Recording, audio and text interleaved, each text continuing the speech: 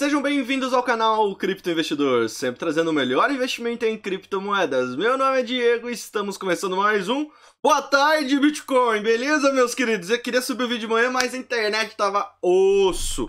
Estado de São Paulo chovendo inteiro aqui na minha cidade, ó, desde ontem chovendo sem parar também. Daqui a pouco já começa a alagar tudo.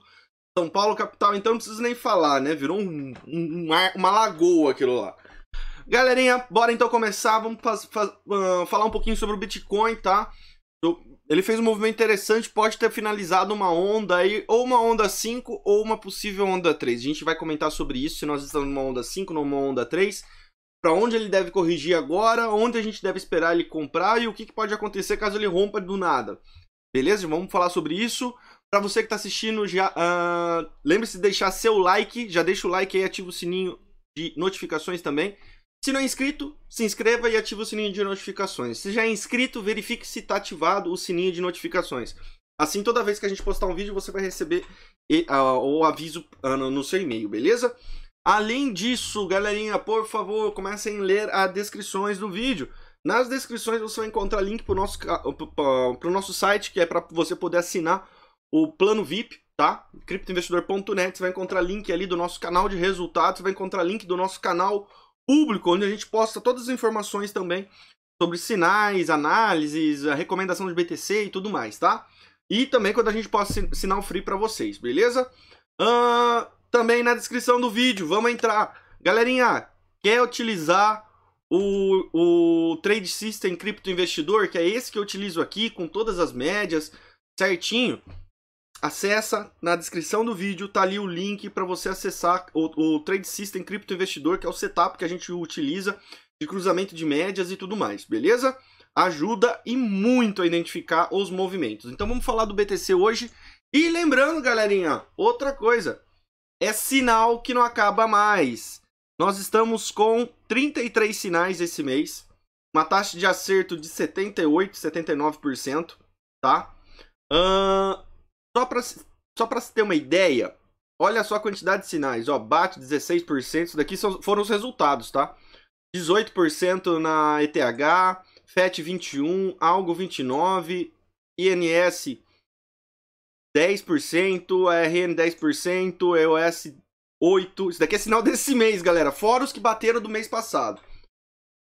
BNB 12%, não, esse daqui é XRP 12%, BNB 29%, sinalzinho do dia, do dia, 4, do dia 3, MTL 34%, NEL 8%, TRX 15%, Ketum 13%, Shen 22%, ZEC 3%, Algo 18%. Olha só, galera, tudo alvo longo, tá? Esse daqui, galerinha, ah, Diego, mas tá a gente acabou de passar, tá? Esses sinais aqui a gente acabou de passar. Passou agora de domingo pra cá, domingo e hoje.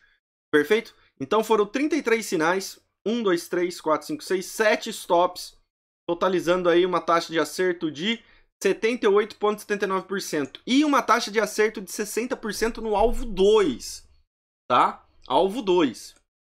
Então tá filé demais. Tá muito bom o nosso plano VIP. A gente tá mandando sinal pra caramba e a taxa de assertividade gigantesca, beleza? Detalhe, como vocês poderão ver aqui, ó, a maior parte é moeda de alto volume, tá? A gente não passa sinal em shitcoin como grande parte passa aí, não. Beleza, bora falar então do nosso querido BTC. Vamos falar do BTC. Gente, rapidão, não vou encher linguiça, tá? BTC. Uh... Ele pode ter concluído sim o final de uma onda 5 ou o final de uma onda 3. Por quê? Quando a gente faz a análise do BTC referente a esse movimento aqui, ó, a gente vê que ele bateu e cravou lá 2.618. Então nós poderíamos ter tido aqui, ó, uma onda 3, a conclusão de uma onda 3 ou a finalização de uma onda 5. Diego, por que, que você acha isso? Tá complicado fazer contagem de Elliott? Muito, tá? Muito. Eu vou falar o porquê que tá complicado fazer contagem de Elliott. O fato é muito simples. Uh, o BTC, em cada movimento, ciclo, esse ciclo que ele faz de alta, ele está corrigindo apenas 38, uh, 382 e volta a subir de novo. Então tá muito complicado. Por que, que eu estou falando sobre isso? Poderíamos sim ter feito uma onda 3? Poderíamos. Não ia ficar tão desconfigurado assim. Ia ficar meio estranho, mas dá para encaixar. E uma onda 5, conclusão numa onda 5 também. E aí nós iríamos entrar numa correção da onda 2, uma correção ABC. Mas, como eu falei, BTC não está querendo corrigir muito. Uh, porém, nós temos dois gaps importantes que eu estou acompanhando CME e CME está seguindo muito. O BTC tá. O que eu estou vendo, tá? A CME está ditando a, a, a tendência do mercado. Ela que está ditando o rumo do BTC. Perfeito? E aí o que, que acontece? Nós tivemos um gap aqui em cima que foi fechado, lá em 9200, fechou aqui, ó. Só que, nós, só que o BTC subiu com dois gaps abertos, tá? Um gap lá embaixo, em 7, 7700, 7800, 7680 a 7700, é esse gap aqui, ó. Ele ficou em aberto. Aqui. E aí nós temos um outro que ele não fechou, que se encontra aqui, em 8,5. E aí, se a gente faz uma análise certinho, o que, que a gente vê?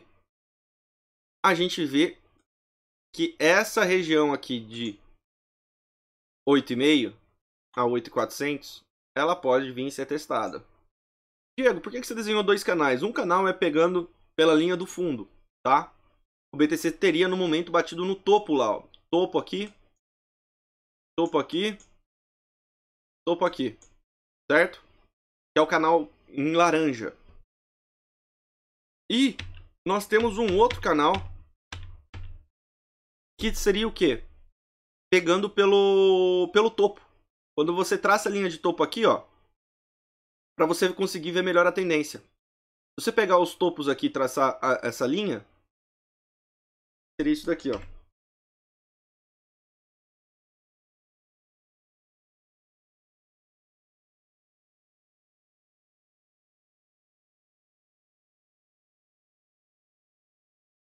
Então, aí que, que eu tô um pouco. Porque o que acontece? Se a gente utilizar a linha azul, ou seja, utilizar o topo para definir o canal, ele fica muito íngreme. E aí nós basicamente mal teríamos uma correção. Seria uma correção muito assim, muito justa. Seria uma correção bem curtinha. Uma correção de. Ó. Uma correção de 382 aqui. Já bateu. Teoricamente, o BTC ele fez isso em todos os movimentos. Ó, 382, certo?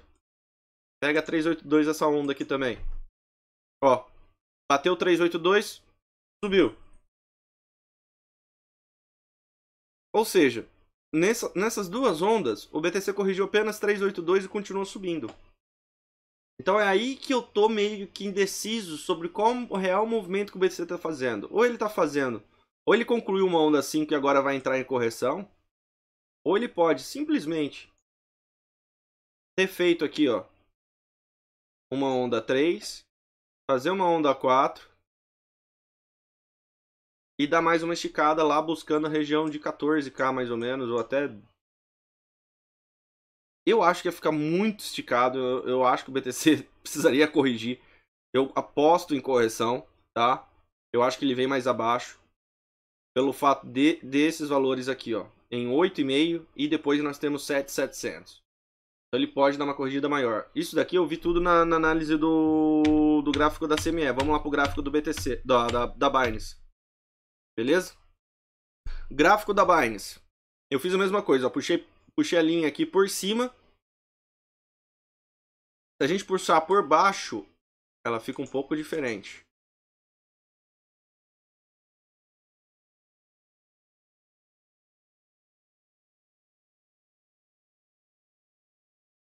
Deixa eu esconder aqui o. Aí, pronto. Ó, teve um falso rompimento aqui da, do, da linha do canal. Certo? A gente pegar pela parte de baixo. E tá voltando. Se a gente considerar este movimento como o movimento real que aconteceu, que foram as cinco ondas,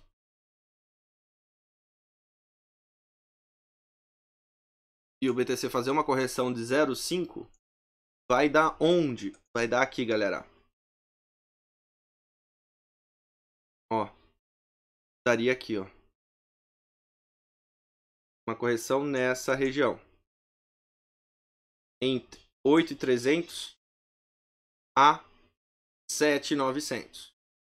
Isso seria uma correção do BTC. Ele iria vir testar aqui esse suporte aqui de 8,300 para poder voltar com tudo para cima, tá? Será que chega lá? Ah, detalhe, Diego, mas aqui tá 8,5 o gap. Sim, o gap tá em 8,5 lá no, no gráfico da, da, da Future. Só que a Future geralmente ela fica com cotação mais acima, ó. Se a gente for ver aqui, ó, a máxima que fez na Futures foi 10,390. Na Binance a máxima chegou em 10,208.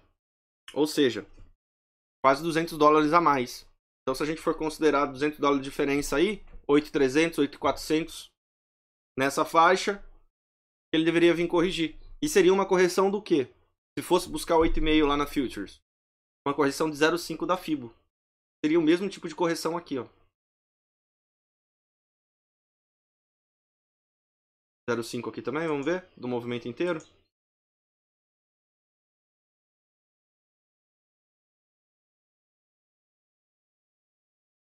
Ó, entre uma correção de 0,5 a 3,82. E se ele faz esse movimento, olha o movimento que ele ia fazer na Futures aqui, ó. Vamos supor que faça isso, ó. Ó, bate no fundo do canal. Aqui, também faria a mesma coisa. Buscaria fundo do canal em laranja, ó. Vai com tudo pra cima novamente. Tá entendendo? Só que minha única preocupação referente ao BTC. Em ambas as análises, se a gente estiver, vamos lá, se a gente estiver numa, numa onda 3, ou seja, estamos numa onda 4 agora, fez uma onda 3 de 2.618 ou se concluiu as cinco ondas de Elliott, agora a gente está entrando na correção ABC, em ambos os cenários nós teríamos uma correção em torno de 8,5. Em ambos os cenários, para mim, nós teríamos uma correção em torno de 8,5, tá? Entretanto, o único ponto é vai corrigir até essa região de 8,300? 8,400? Não sei. Mas se por acaso o BTC não corrigir a esse ponto, corrigir só 382 de novo, é 8,700. Então, uma região para você ficar de olho. Aqui, ó. E vai que ele fica consolidando aqui, ó. Demora para cair, faz esse movimento, ó. Ficaria um pouco acima. 8,700, 8,500, por aí, ó. Então, isso daí que a gente tem que analisar, tá? Ou seja, então, vamos ficar de olho, ao invés de 618, ficar de olho aqui, ó. Entre 382 a 05. Ou seja, entre 8.700 a 8.300. Essa seria uma possível zona de uma, uma região aqui para ele vir buscar. Em 4 horas, até o momento, o BTC respeitou demais a LTA do gráfico de 4 horas. Toque, toque, toque. Não chegou aqui ainda. Para acontecer esse toque lá embaixo, o BTC teria que perder essa LTA aqui, ó. Vou colocar um alerta aqui nessa região de 43 de RSI, tá? Ou seja, se por acaso a gente vê que o BTC chegou ali e não perdeu essa LTA, possivelmente ele não vai fazer correção. Mas ele não tem que corrigir? Deveria, gente, mas a gente viu que nesse movimento corrigiu só 382. Será que nesse mov... será que ele vai repetir a mesma coisa? Talvez ele faça isso, ó. Esse que é o grande X da questão. Ó, 382 aqui dá em 9,5. Tá aqui, ó. Essa região aqui, ó. Eu acabei de traçar. 382 deste movimento de 8,200 a 10,200 dá em 9,400. 9,450. Pode ser que ele venha só até aqui, corrige aqui e depois capote.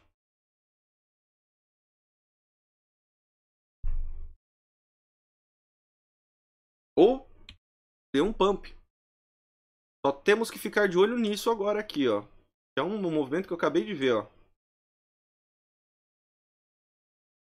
Ó. 9,200.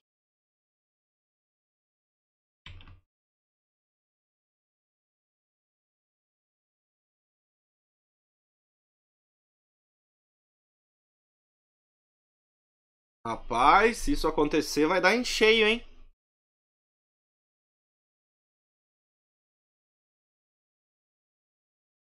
Vamos lá então, gente. Vamos resumir o, o, o, cenário aqui, tá? Ficou um vídeo um pouquinho maior, 15 minutos aí, mas é de orientação mesmo, de, de, de análise, tá? Tô fazendo essa análise pra, como, como se eu estivesse com vocês aí no momento. Não fiquei analisando o dia inteiro para ver o que, que tá acontecendo. Entrei e falei, vamos fazer agora análise mais profunda do BTC. Foi isso que eu decidi fazer, que é o que quem sabe faz ao vivo, não fica de churumelas. Tá? Daí amanhã a gente faz live, tudo certinho, a gente tira as dúvidas aí, vamos ver o que vai acontecer. Resumo da obra, da, da obra, tá?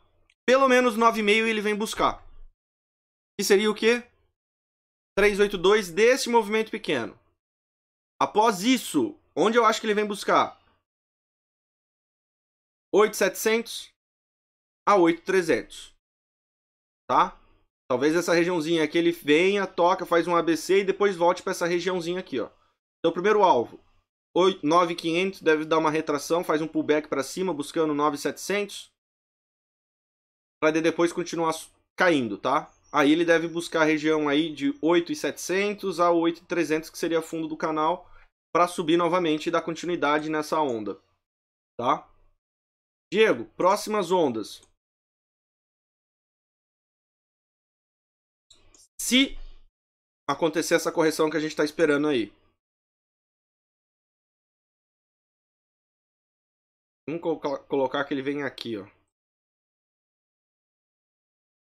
Ó, próxima onda testa topo. Se for esse, se for esse cenário mesmo, a gente vai ter acertado na correção, tá?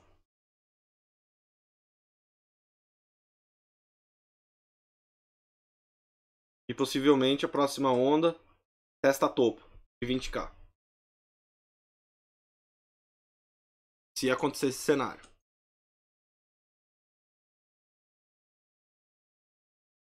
Belezinha? É isso, meus queridos. Então não fique de fora, beleza? Só para finalizar, e vamos dar uma olhada aqui também no mês de janeiro, só para vocês terem ideia como que foi o mês de janeiro. Galera, foi muito final batido. Olha isso de janeiro. 73% taxa de acerto.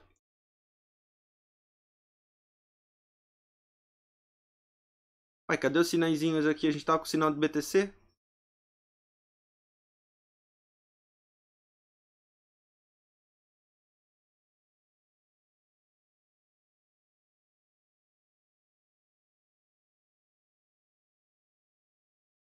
Que bateu 60% aqui, ó. Teve vários 60%, 25%, 17%, 18%, 23%, 15%, 22%, 37%, 31%, 24%, 12%, 15%, 30%, 21%, 40%, ó, 42%, 21%.